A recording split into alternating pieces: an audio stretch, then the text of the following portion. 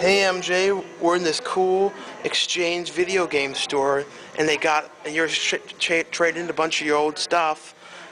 And no, they I'm trading in my old CDs and DVDs. There are no old games CD. I want to trade in. I'm keeping all my games. and look at this, they've got all these classic um, Sega games, um, and a lot of them have good prices. don't Oh, have any Tetris games. look at that, like that Pac-Man World, two dollars. I could buy that. Like Great More um, Home Alone games. it's funny they have Home Alone games for like Nintendo, Super Nintendo, and Sega. Like the first one, it's it's you know in the second one. and and these Super Nintendo I have this games. one cool spot. The Super Nintendo games. There's a Home Alone there. Look, I don't told see, you. Yeah, you don't see the Home Alone for that system much. Look, a red cartridge. And for Doom. the classic, super, I mean, no, regular Nintendo. They got a, a big selection of these. Oh look, here. here's the biggest one of all time: Super Mario Brothers um, slash Duck Hunt. God, I have. I have And the they even have they have these systems, these systems. Oh, N64. I never really got into that one as much. and they have lots of DVDs They in have here like more. Mario games than any any other ones. Oh look, it's the controller the Ghostbusters used in Ghostbusters 2 to pilot the Statue of Liberty. It's that, you know, that big NES Advan- Advantage controller. Look, the Oh my classic God. Atari systems. The original. Pac-Man, the very first original Pac-Man, Atari, 299. If they had the um, system when you just buy when you just buy it, I think my old, the system I had was too old and it, like yeah, it got all dusty and old and I had to get rid of it. But I think at really some point I did have it. I, th- I think I remember. Here's game. Here's another there's a bunch of- Pac-Man. A bunch of I wonder if I wonder if they have Tetris here. I, for, I don't even I don't know if I ever had Tetris for um Atari. Was it Oh. on Atari? I don't know. We're recording this video in a bit of a higher quality to see if it looks different for the internet. It's a different setting. I know they must. I know they must have had some sort of Bomberman game for Atari. 'cause I Those know are those didn't, it classic didn't start on boxes they were. Nintendo. You, you don't see Atari much. It's cool to see it. Yeah, it was one of my favorite systems when I had it. Like when I first bought it, I'm like, oh, it's one of those. You know, even back then, it's like, oh, it's one of those fad systems. You know what I mean? But it's like, are those fad things? But you know, I didn't know video games would be the way they are and stuff. So. And look at these DVD sections in here. Look at all this. This goes on all the way to the back. And there, if you can't find something used and old here, you, you're, you're not looking in the right used and old store. I know. And they have decent prices on stuff like, um, like $5.99. Like a lot less than like a lot of other places are. Roy Kumar. Do you remember Haunted Mansion? Does anybody remember Haunted Mansion with Eddie Murphy? No, look at this weird movie, Finding North. If only it was North with, you know, Elijah's Wood. Oh, that. Elijah's Woods. Oh, here's Hitch with Will Smith. That's like one of the only Will Smith movies I've never seen. The one I'm really excited to see that new one he's coming out with, Hancock, the one where he's a, Watch your language. a superhero. No, his name's Hancock. Watch your language, young man. His name is Hancock. Just please watch your language. That's the guy's name. People, you know, you know, people who can't handle language like that could be watching this. Armed, Fine. When it comes to theaters, don't blame me when they're saying it all over the TV. armed and dangerous. Sex. That, that's a John. Candy one. You don't, like, you don't hear about that one much. Yeah, that's like one of the few ones I haven't seen. I don't even. With, with Meg Ryan. Oh, that was Susan Sarandon with Goldie Hawn. Look, it's like the double team. I don't know. It's like when we mentioned, I didn't even remember they were both in this movie together. Yeah, that was like that thing when they came back and like. I didn't even remember that they did this when we were talking about it when we saw. Here's more. Let's show them that they still have some VHS. This is like a newer, like um. The Banger Sisters. Yeah, this is this almost like revised. Like what year did this come out? Um, like Thelma and Louise almost. That's sort of what it was. Yeah, it's like I never actually saw this one. I wanted to. Yeah, it just screamed like Thelma and Louise for a, for a never Now come over here, MJ. Let's show. Black sheep. Chris Farley. I want, I want to show them how they still have a few VHS. Well, they do? Yeah. I, I couldn't sell any of my VHS. Well, a lot of them are still. Well, no, still they don't take them. We house. asked them. I asked them before if they take them. They don't. I know. Look, they've still got a bunch of them. Look, look at them. Stuff cassette tapes. Mm, probably not. But look, they've got weird ones. So like, look, All's Fair. What the fuck is that? Do you know what I Is there mean? anybody in this that was in anything else? Lou Ferrigno. And look, here's like these classic tape boxes. Night Night Quest. Oh, the old ones. Let's go on a night. Is that? No, it's not. It's some. Oh, Look, Izzy and Izzy and Moe. Busy and Moe. I don't actually recognize. Oh, Raggedy Ann. Raggedy Ann and Friends. Now, please, someone out there told me you remember Raggedy Ann. Well, I remember it. Yeah, I mean, like all these younger people might know. You know, Roy Scheider died recently. from, from Jaws. You know, Roy Scheider. It was really sad news. Rest in peace. If I had a drink, I'd be like, this one's to you. Didn't you really like Oh, Jaws? I have this one. Yeah. Now, what what's going on with Glenn Humplik? Do you think we'll ever see Glenn Humplik ever again, or you think he's like like dead and missing? He'll surface one day. He will surface. I wonder if like Tom Green is like just was a butt to him, or like what happened. You think, it's good, you think he doesn't like the way Tom Green's Here- internet here's one. Look, here's a classic one. T- to, what's that? Teddy Ruxpin. Aren't those, those like that? Isn't that worthless though without it because you have to like put it into the back of the Teddy Ruxpin and it talks? Oh God, I have not seen this in like, like almost 20 years. Did you have the Teddy Ruxpin doll, doll that talked? I don't. I don't know if I ever did or not. I might have like, I think I bought it for like, at the time I think I bought it for like a, a at cousin, a cousin or one. something, but I never The actually. Roy story. I think I, ta- I rented these all the time. These time. are all um, two dollars. So if you want them, only two dollars. Yeah, I rented this for my little cousins back, you know, when they were like kids and stuff. Regener, generated man.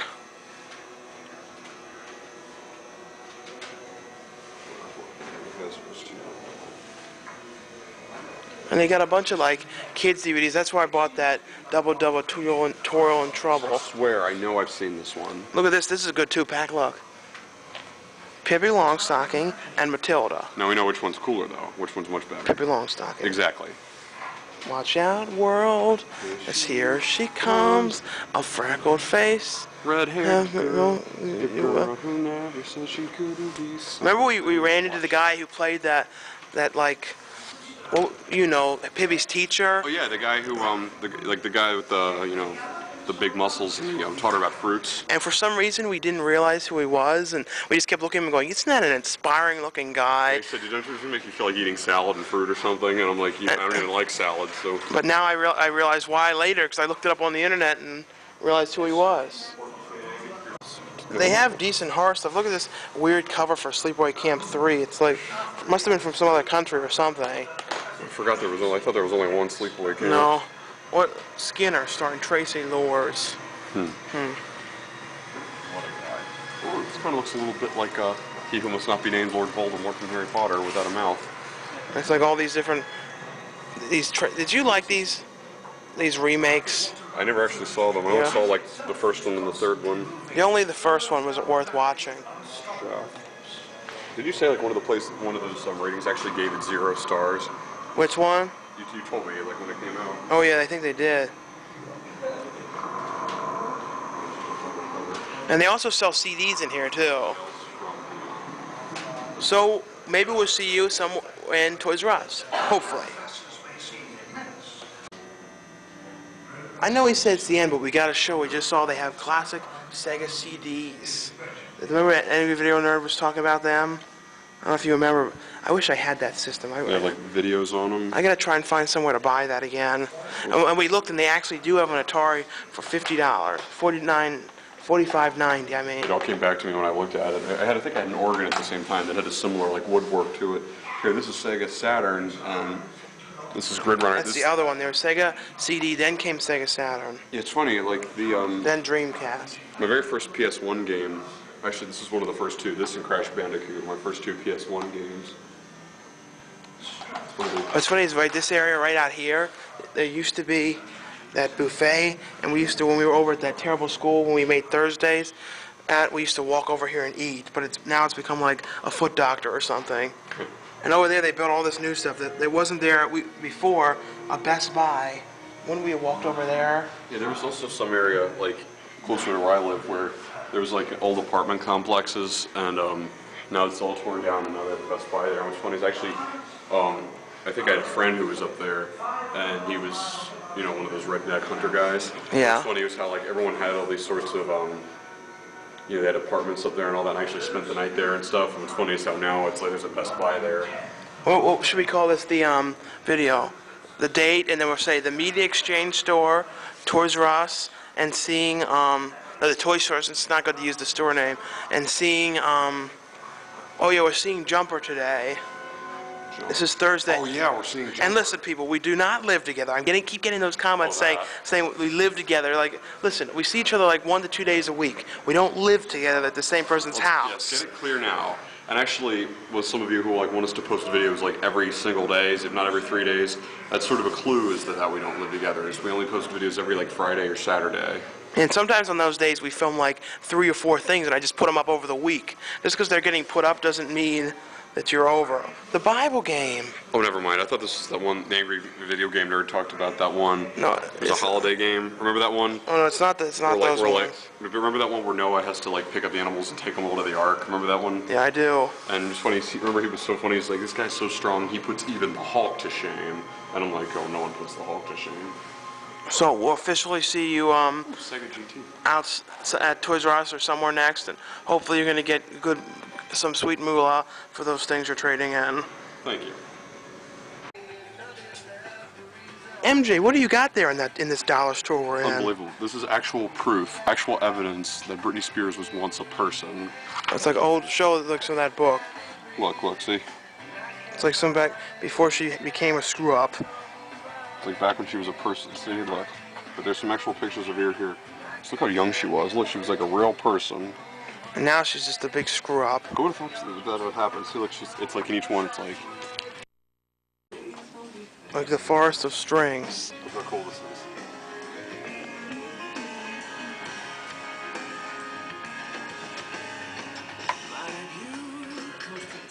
Look at all this stuff. I should do that one day at my at my house. I should like hang a bunch of these around and walk through it.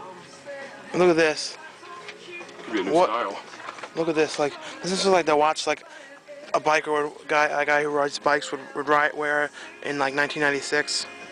Or it's like more like 93. Like we're like, what's up? I never wore watches like this when I rode bikes back then. Look, weird technology things. Look. Oh, those adapter things, yeah. This is like classic stuff we used. to Here, use. here's a cheap cassette tape adapter thing. I could use one of those. I I think my one got stuck in the in the um cassette still player in there. Car.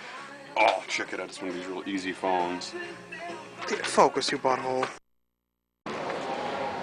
Look at these tires, MJ, in this unnamed store. I wonder what store this is. I love fresh rubber. What a weirdo.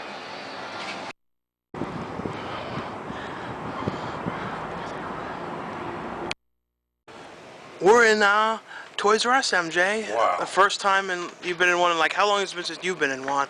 I've been uh, since like, who knows? Like, remember the one closer to where we live? They turned into Babies R Us. But, like, We were in there like two days ago or something. Oh, happy Easter! Oh, today's not Easter. Happy Valentine's. Today's Day. Today's Valentine's Day, but, So but when they see this, it's probably been Valentine's Day for like two days already, though. Oh, I know. So, so happy Valentine's Day. Something pink, you know.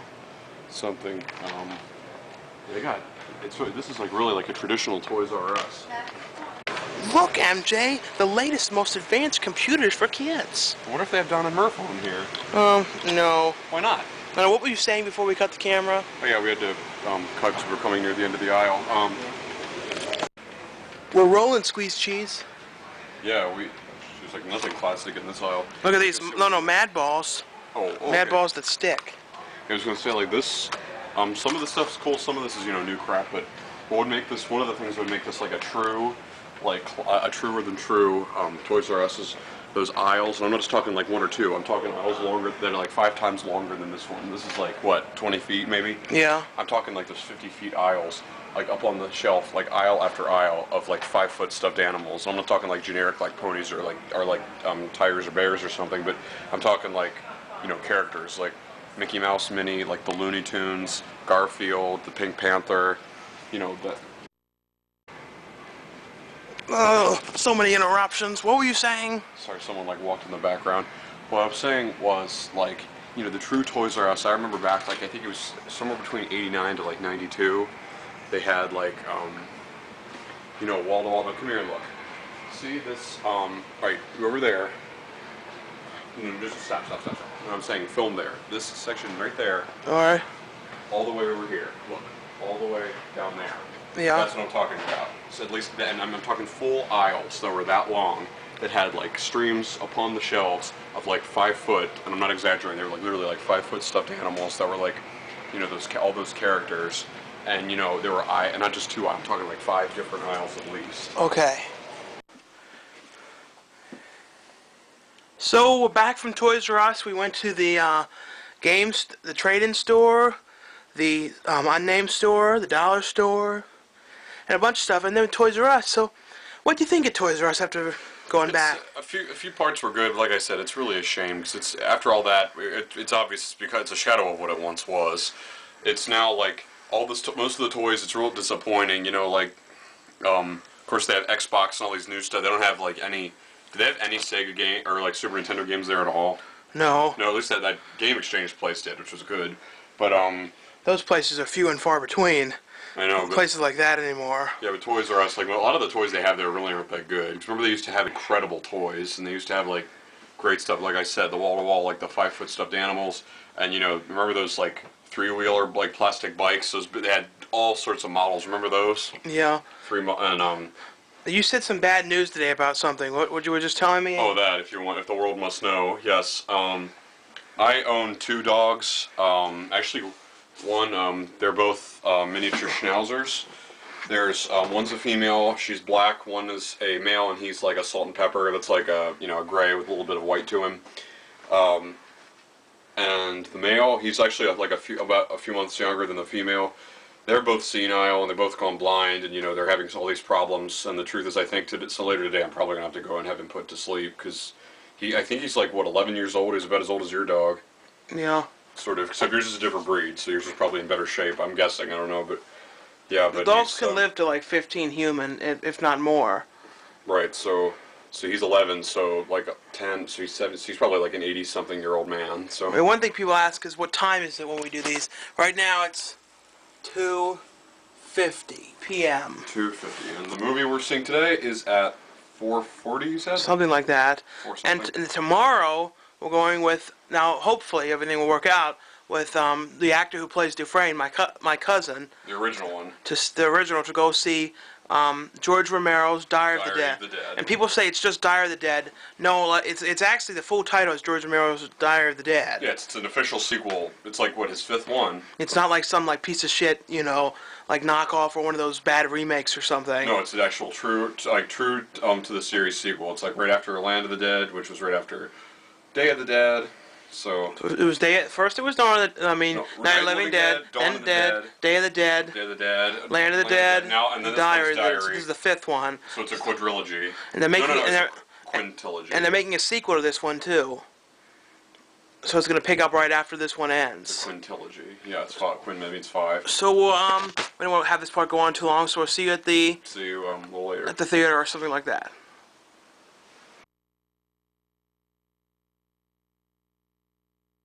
Miss, why am I just sitting here in front of the computer on this damn webcam video all by myself, Murph? Well, because this is our Valentine's Day special. We're not doing a big one. We're just doing a little thing just for the heart of the holiday. A webcam video is not a Valentine's Day video, Murph. That's called cheaping it, that's called roughing it, that's called half-assing it. Well, here um, is something for um. Miniature Reese's Pieces! Mmm. Thank you, Murph. You're welcome, Don. I hope you enjoy them. Murph, you're my... Murph, you're my one true love. Aww. I, there, I can't think of anyone better to spend Valentine's Day with than you. Happy Valentine's Day, YouTube. Happy Valentine's Day, John McBride. Happy Valentine's Day, Shane Jansen. Um, happy Valentine's Day, Charlie Sheen. Happy Valentine's Day, director of Wrong Turn 2. Who else should we say, Murph? Happy Valentine's Day to those who long to meet us one day. And happy Valentine's Day to you.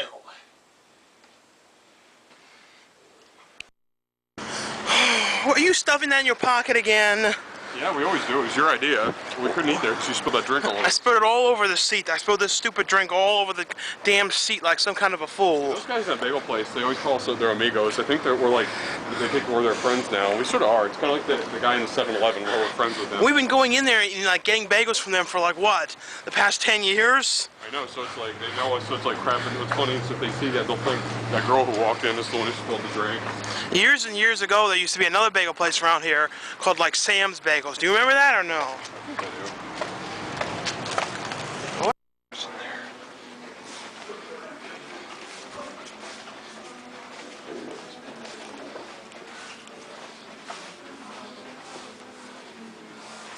You want to know something?